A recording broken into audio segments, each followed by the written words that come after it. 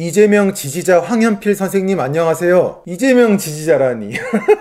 이렇게 시원하게 커밍아웃 해주셔서 정말 감사합니다. 오늘은 우리 이재명 지지자 황현필 선생님의 영상을 보고 제가 느낀 점들을 하나하나 말씀드리려고 합니다. Let's go start!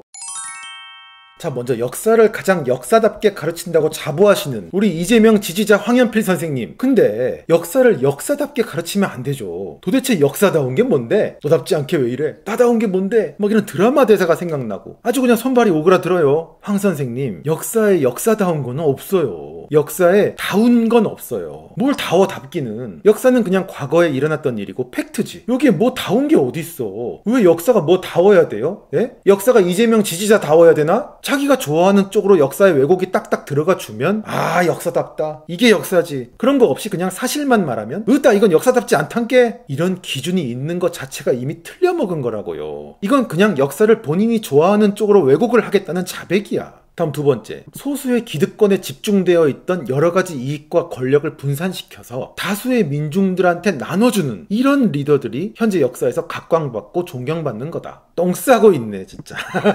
어떻게 이런 말을 해? 이게 이 짝 사람들의 전형적인 망상이죠. 권력은 나쁘고 민중은 좋다. 소수는 나쁘고 다수는 좋다. 높은 건 나쁘고 낮은 건 착하다. 부자는 나쁘고 가난한 사람들이 선하다. 따라서 한 명의 리더가 존재하는 건 끔찍한 독재고 막 사공이 엄청 많아가지고 와글와글 해야 위대하고 숭고한 민주주의다. 어떤 결정이 맞느냐 틀리냐보다 그 결정을 몇 명이 했느냐에 집착하는 모습. 뭐 그래요. 여기까지는 뭐 그 사람들이 그런 걸 좋아하는구나. 저 사람들은 원래 저런 사람들이구나. 뭐 이렇게 생각해 줄 수도 있어. 근데 사실 알고 보면 이 사람들이 결코 이런 것만도 아니라는 게 문제죠. 이 황현필 선생님이 지금 하신 말씀들은 다 진심이 아닌 거야. 아니 진짜로 권력을 민중들한테 막 나눠주고 본인은 그냥 헐렁하게 무소유하고 절대 권력을 막 휘두르지 않는 리더가 정말로 존경스럽다면 아니 그럼 어떻게 이재명을 좋아할 수가 있어? 이재명이 언제 자기 권력을 국민들한테 막 펑펑 나눠주겠다고 말한 적이 있어? 이재명이 막 허허허 웃으면서 도덕적이고 착한 척이라도 하는 인간이야? 전혀 아니잖아. 오히려 그 반대잖아. 권력은 강한 권력자가 딱 쥐고 이걸 잔인하게 써야 된다. 도덕이 뭐가 중요하냐? 능력과 추진력이 훨씬 중요하다. 리더가 이것저것 약한 모습이나 보이고 물러 터지면 결국 아무것도 못하게 된다. 나는 다수의 민중들이 반대를 하더라도 소신 있고 깡단 있게 불도저처럼 막 추진력 있게 밀어붙이는 능력 있는 리더다. 이게 평소에 이재명이 맨날 입이 닳도록 하는 말이잖아. 사실 한국인들이 정말로 이 황현필의 말처럼 다수의 민중들한테 막 자기 권력을 나눠주는 착한 리더를 정말 존경하는 사람들이었다면 이재명이야말로 절대로 존경받을 수가 없는 사람인 거야. 이 모순 덩어리 아저씨야. 자 다음은 세종대왕 얘기를 하고 계셔. 세종대왕께서는 승리학자들, 유생들이 가지고 있는 문자 권력을 깨고 한글을 만드셨습니다. 아니 조금 전까지 절대 권력은 나쁘다. 민중한테 권력을 나눠주는 리더야말로 좋은 리더다라고 하셨잖아. 그래놓고 세종대왕 얘기는 왜 하시는 거? 세종대왕이야말로 1인 독재 끝판왕 아니냐? 끝판왕에서 진짜로 왕이잖아 이 사람. 조선에서 왕이 뭐야? 신이잖아. 대대손손 세습 독 재 절대신 이 절대 왕권의 왕이 갑자기 왜 무슨 기득권의 저항이라도 한 인물로 묘사되는 거지? 조선 왕들한테 기득권이란 중국 황제밖에 없었어. 근데 조선 500년 동안 중국 황제한테 어떤 조선 왕이 그렇게 저항했었지? 내가 보기에 조선의 왕들은 본인들이야말로 다 절대 기득권이고 단 한 명도 더 기득권인 중국 황제한테 저항한 인물이 없는 걸로 알고 있는데 내가 잘못 알고 있나? 그리고 세종대왕이 민중들한테 뭔 권력을 그렇게 나눠줬어? 세종이 뭐 백성 참여제 재판을 하기를 했어. 왕 실에다 조폭 양아치들 불러서 감투를 씌워주고 대장동 사업 같은 걸 진행하기라도 했어. 그리고 뭐? 성리학자와 유생들이 갖고 있는 문자 권력? 일단 황현필 선생님 하나만 대답해 보세요. 왕이 더 권력자예요? 성리학자 유생 신하들이 더 권력자예요? 아니 이 짝 사람들은 진짜 막강한 권력자들을 왜 자꾸 무슨 기득권의 저항이라도 한 무슨 교섭단체 대표같이 묘사를 하는지 모르겠네. 아니 그리고 세종이 진짜로 한자 권력에 저항을 했다면 본인부터 한자를 안 쓰고 한글을 썼어야 되는 거 아닌가? 내가 알기로는 세종도 죽을 때까지 중요한 서류들은 다 한자로 썼던 것 같고 세종의 아들도 손자도 대대 손손 조선 왕들은 물론 그 신하들 조선의 기득권들 양반 양반들 싹 다 모두 다 끝까지 다 한자만 썼던 것 같은데 이 사람들은 왜 이렇게 얘기를 하는 거야? 솔직히 세종대왕이 진짜로 하층민, 서민, 상놈들 노비층을 진심 사랑했다면 어차피 그들이 살면서 별로 쓸 일도 없을 것 같은 문자 같은 걸 굳이 열심히 고안해서 만들어주는 것보다 그 이전에 이 백성들이 평생 대대손손 노비로 가축처럼 살게 만든 만드는 끔찍한 노비법을 없앴어야 하는 거 아니야? 근데 이 세종대왕은 없애기는커녕 그걸 오히려 더 강화시키고 아주 빼도 박도 못하게 계속 노비로 살도록 만드는 더 강력한 노비법을 추가로 만들어서 더 정착시킨 분이야.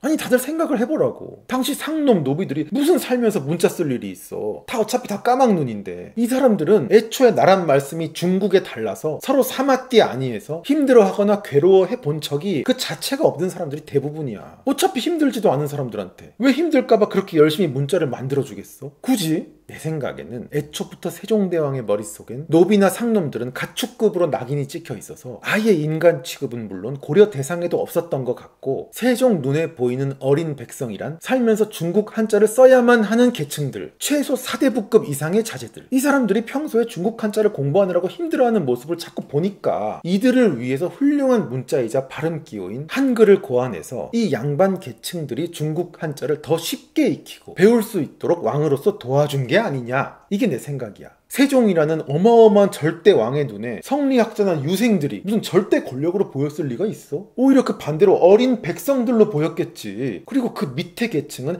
아예 머릿속에 없었던 게 아니냐는 게 내 킹리적 가심이라고. 자, 다음엔 또 이순신 장군 얘기를 하시네. 그 오랜 시간 전장에 계시면서 기득권에 저항하셨고 어떤 기득권에도 발을 담그시지 않으셨다.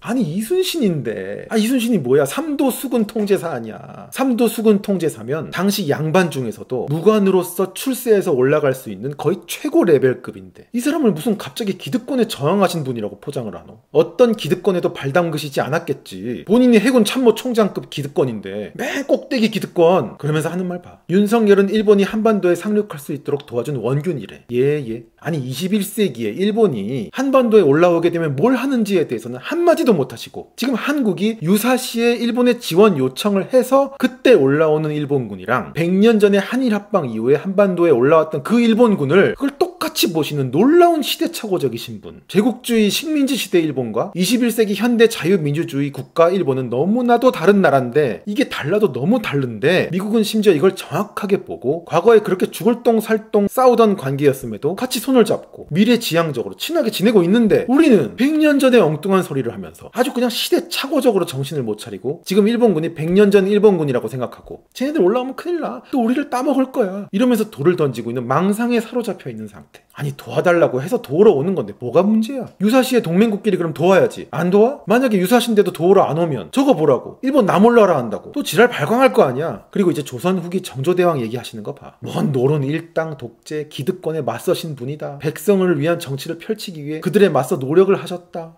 아니 정조대왕도 대왕이잖아. 대왕. 대왕이 미친 기득권이지. 뭔 대왕이 그렇게 무슨 일당 독재 기득권에 그렇게 맞섰다는 소리를 하고 있어. 하여튼 기득권에 맞서는 거 정말 제일 제일 좋아해. 무슨 기득권 맞서는 페티시가 있는 것 같아. 그럼 지금 국민의힘은 대통령 기득권에 민주당 180석 기득권에 전국을 다 차지한 지방자치 기득권까지 그 어마어마한 일당 독재 기득권에 맞서서 싸우고 있는 당인데 왜들 그렇게 국민의힘은 안 좋아하시노? 또 봐봐. 김구 선생님은 해방 이후에 친일 기득권에 맞서서 민족의 분단을 막고 통일된 한반도 수립을 위해서 노력하셨대. 아니 여기까지만 말하지 말고 그 김구 선생님이 꿈꾸던 통일된 한반도가 어떻게 통일된 한반도인지 자유민주주의로 통일된 한반도인지 아니면 북한 공산주의로 통일된 한반도인지. 아니 이것도 말씀해 주셔야지. 왜 한마디도 말씀을 못 하셔? 그러면서 와 이재명 와갖고 감격한 사진 봐. 이재명이 직접 찾아오셨어. 이건 무슨 김정은이 북한 인민들한테 민생시찰 나왔을 때 그 인민들 감격하는 표정이랑 뭐가 다르노? 그러면서 이재명이 대통령이 돼서 일을 하고 싶어 하는 사람이라고 막 추앙을 하시는데 그가 하고 싶어 하는 그 일이 어떤 일인지도 설명을 또 못 하시는 분. 하긴 나라를 망치는 일도 일이기는 하지. 나라를 망치는 일을 열심히 하고 싶은 분이니까. 요건 뭐 틀린 말은 아니네.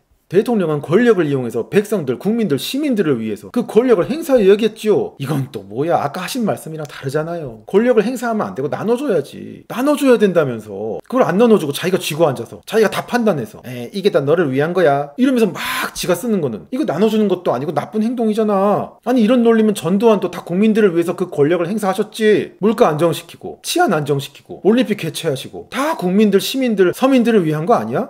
같은 영상 안에서도 말이 막 바뀌시는 분. 그리고 다음 이미지가 제일 충격이네. 뭐? 자유와 평화와 평등과 시장 경제와 민주주의? 아니 이게 어떻게 같이 올 수가 있어? 황 선생님, 자유와 평등이 어떻게 동시에 일어날 수가 있어요? 국민들을 자유롭게 해주면 바로 생기는 게 격차예요. 뛰는 놈, 누워있는 놈, 다 다른데 어떻게 평등이 될 수가 있어? 진짜로 평등한 나라를 만들려면 자유를 제한해야 되는 거고 진짜 자유로운 나라를 만들려면 평등을 경계해야 되는 거예요. 뭐 무슨 동그라면서 네모난 걸 찾고 있어. 그러면서 또 무슨 재벌과 언론과 검찰 기득권 짬짬이 뭐야 이건 또 이것도 다 미친 망상 아닌가? 아니 검찰 공화국이 도대체 뭐가 무서워? 진짜로 검찰 공화국이 찾아오는 게 무서운 사람들은 지금까지 너무 지은 죄가 많아서 정권이 바뀌면 앞으로 검찰청을 들락거려야 할 사람들 그 좌익 운동권 기존의 정치인 기득권들이나 걱정해야 될 게 검찰 공화국이지 우리 국민들은 검찰이 뭔지 경찰이 뭔지 그런 거 알지도 못해요. 자꾸 그 운동권 정치인들한테 빙의시키지 말란 말이야. 검찰 공화국 하나도 안 무서워. 조폭 양아치 정과 사범 공화국이 될까봐 무섭지. 그러면서 후손들이 2022년의 선택을 정확히 역사로 평가할 거래. 똥 싸고 계시네 또. 이재명이 뽑힐 경우에 아 좋았다고 평가해야만 하고 윤석열이 뽑힐 경우에는 아씨 나빴다고 평가를 해야 그게 님들이 말하는 후손들의 정확한 역사 평가겠지. 이 평가 외에 이재명이 뽑히고 나서 아 나빴다고 평가하거나 윤석열이 뽑히고 나서 아 좋았다고 평가를 할 경우에는 그건 다 부정확한 평가고 역사 인식이 없는 엉터리 평가겠지. 왜 이렇게 사람들이 솔직하질 못해? 그동안 6.25에 대해서 이렇게 망언을 하시고 북한에 맞서 싸우다 돌아가신 분들과 그 어마어마하게 많은 유가족들이 다 뒷목 잡고 쓰러질 말씀을 하시고 그러면서 홍범도에 대해서는 또 말도 안 되는 소리를 하셔서 윤서인한테 막 저격이나 당하셨던 분. 와 어떻게 저런 사람이 역사를 가르치나 너무너무 이상했는데 이번에 이재명 지지 선언을 시원하게 해주셔서 끄떡끄떡 뭐 퍼즐이 아주 잘 맞춰지고 납득이 잘 돼서 감사합니다. 아